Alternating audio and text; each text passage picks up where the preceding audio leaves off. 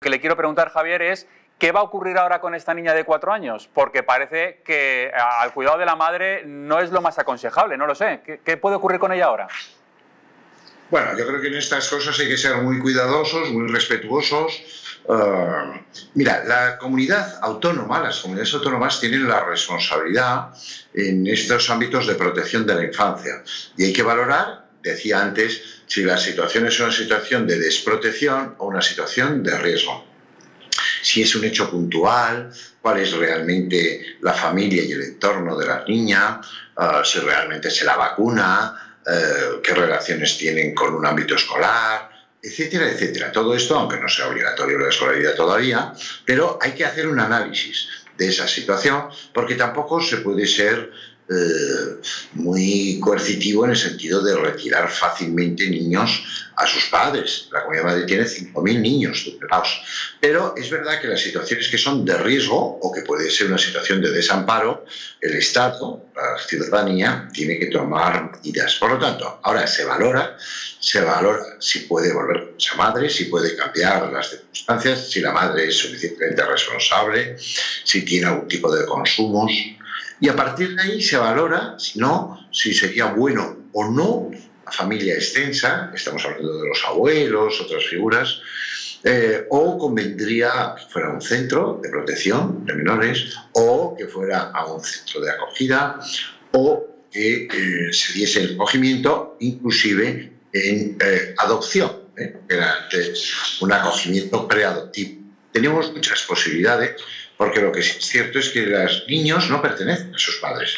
Los niños pertenecen al futuro y tenemos que, una vez que se ha vislumbrado esta realidad de riesgo, no volver a reincidir. Pero Javier, en este caso concreto, cuando detienen a la madre, a, la niña la ponen enseguida eh, bajo la custodia, digamos, de, los servicios sociales.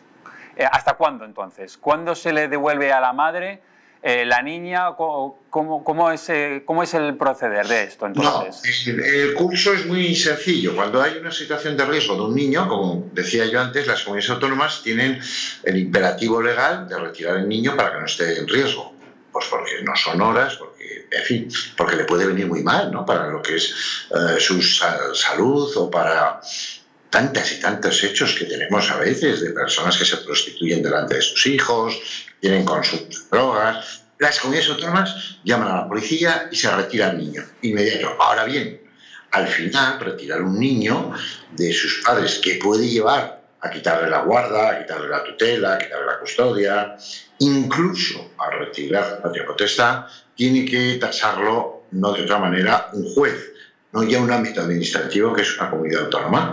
Por lo tanto, Ahora la madre, la familia, el abogado interpondrá y decir, oye, este es un hecho puntual, no es realmente que la había dejado sola, la supervisa una vecina, bueno, lo que tenga que argumentar. Y el juez concluirá si es verdad, si no lo es, porque alguien tiene que proteger al niño que no tiene capacidad con cuatro años para hablar de su derecho, que mm, la Constitución española ampara a su desarrollo madurativo de personalidad. Y, así es como se y en el caso, en el otro caso, la madre detenida y su hijo de 15 años porque estaba conduciendo un automóvil, evidentemente sin carne porque es menor de edad, ¿es muy diferente? Es muy diferente, sí, es muy diferente. Es muy diferente porque, hombre, este incumple varias normas. Una, de riesgo a, la circulación, a todo lo que es el ámbito vial. Segundo, porque demuestra que la madre es francamente irresponsable.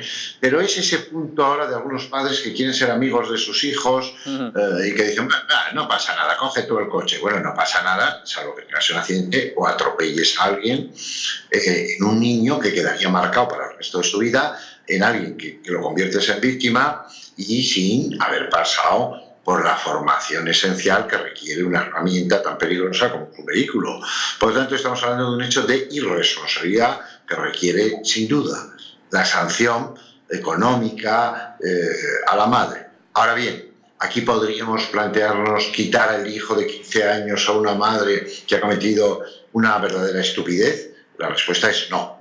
En el caso de, niña de cuatro años, la respuesta es sí. Es decir, eh, hay que tener un criterio eh, en la norma siempre de cómo se cumple, cómo se ha de cumplir, para, sobre todo, en el caso de la niña de cuatro años, que estamos hablando de una niña muy pequeña, proteger su vida. Y en el caso de la madre del chico de 15 años, decir, oiga, pero si usted no es responsable, ¿cómo vamos a conseguir que su hijo sea responsable? Si usted le permite conducir con 15 años, tenemos un problema. Lo tiene su hijo, lo tiene usted y lo tiene la sociedad. Por lo tanto, usted es la madre, pero la sociedad se defiende de madres que son, al menos en este hecho, profundamente irresponsables. Usted es la primera persona que tiene que prohibirle a su hijo o sea conducir.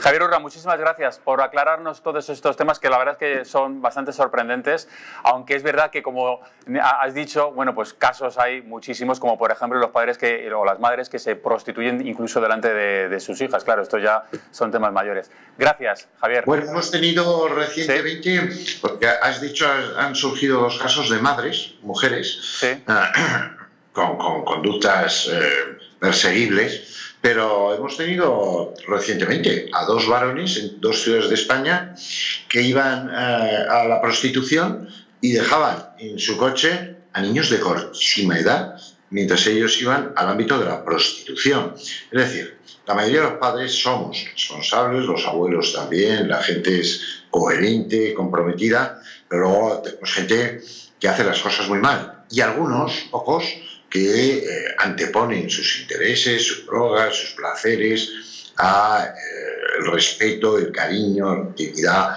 y el correcto crecimiento de un niño. Y es ahí cuando el Estado, que no deja de ser más que los representantes de la ciudadanía, tenemos que intervenir. Madre mía. Gracias, Javier. Un abrazo. Un abrazo. Gracias.